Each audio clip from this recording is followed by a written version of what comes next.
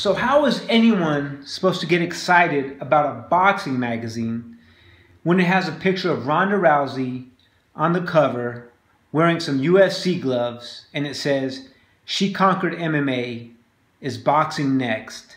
What the hell? And then to make matters worse, I'm seeing a ton of other publications and websites saying things like, Ronda Rousey is the undefeated UFC boxer.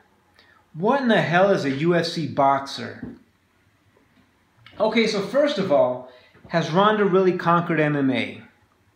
I mean, her next fight is against Holly Holm, who is apparently ranked number seven in the UFC's women women's bantamweight uh, division. She somehow moved up in the rankings just by being announced as Ronda's next opponent. And then Ronda's last fight was against Bethe Correia, who somehow moved up um, two rank two spots in the rankings just by being beat by Ronda. So we have Holly Holm, who is 2 0 in the UFC, and I don't think she's fought a top 10 opponent. And Bethe Correia was, had three fights in the UFC, and I think maybe one of her opponents was top 10. I'm not even sure if the other two are still in the UFC. And um, I'm sure everyone's seen the video. I didn't really want to uh, put it up, but you know, here are a couple pictures. I, I don't like to um, rub it in or make you know, you know, make fun of them or whatever. But uh, this is just pictures of uh, Holly Holm getting brutally knocked out. Because I know uh, if and probably when Ronda uh, beats her, they're gonna say, you know, she beat the best female boxer ever, and I mean, how many boxers do you guys know that gets brutally knocked out like that, where she's just caught in the ropes and everything? So, um, you know, I, I, don't think she's conquered MMA. Uh, she hasn't even fought um, Cris Cyborg, who, uh, when they were both in Strikeforce, uh, you know, obviously Ronda was the UFC champ. Uh, I'm sorry, the uh, Strikeforce champion at 135. Cyborg was at 145. Ronda wouldn't fight her then, and she won't fight her now. She has a ton of excuses. Um, I don't want to get into all that drama because that doesn't really matter. But um, I mean, basically, uh, you know, to put on a boxing magazine. I mean, we all saw her last fight uh, with Bethe Correia. She was just, you know, Ronda was throwing these sloppy haymakers. Uh, she did end up, you know, obviously knocking out Bethe Correia, but I'm pretty sure uh, any of the top five UFC uh, females would have knocked her out.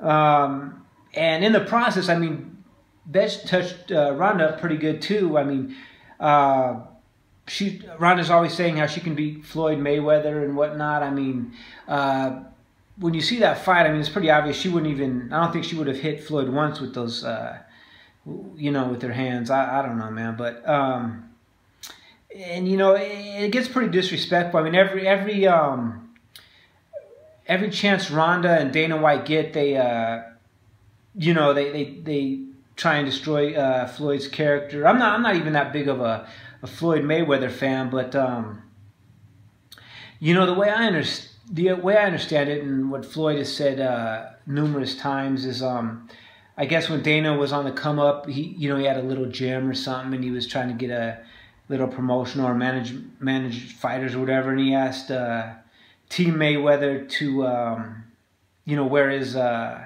his logo, you know, kind of like like a sponsorship. And I, I think you know uh, Roger and uh, Floyd Senior and whatnot they uh, they they wore it and they didn't even charge them.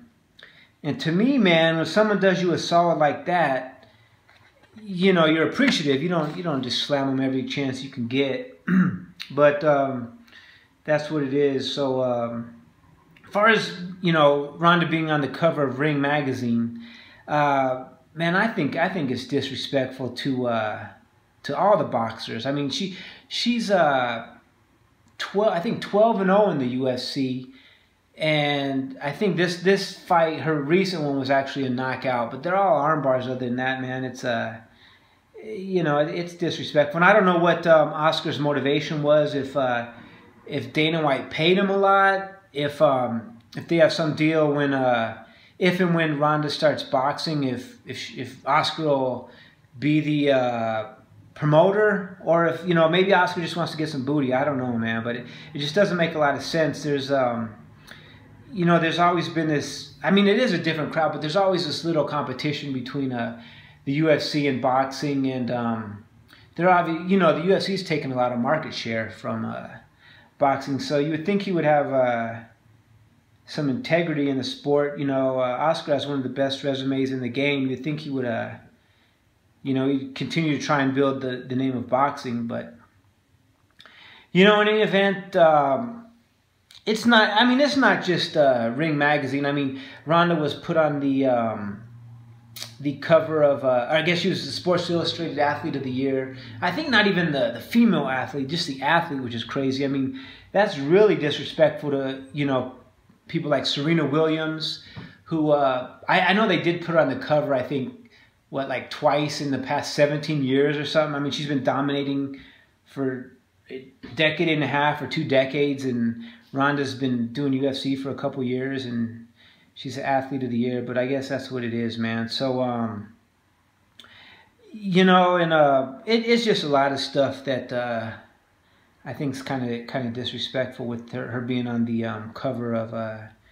Ring magazine, and um, you know, even like I, I just think she's not a, she's not a good representation of even UFC, let alone boxing. I mean, uh, she's always talking about you know other people's personal lives. She's always you know telling Floyd he can change. I guess because this domestic uh, his domestic violence case, and then um, she herself is dating Travis Browne, who allegedly uh, beat up his wife, and he's still married to her. Why? Uh, why? Uh, you know, that she um, Ronda Rousey's sleeping with him. I guess you can call her a home wrecker or whatever. It just doesn't make sense. She's so critical of others, but um, man, she's she's definitely not not much of the role model. So uh, I just you know I think it's a bad move for Oscar. His um, you know Golden Boy Promotions, he's lost a lot of his stable. His roster's getting pretty thin, and then um, you know you would think he'd use his his uh, publication to build boxing, but um, I guess he chose to go with Ronda. But anyway, uh, hopefully next issue's better.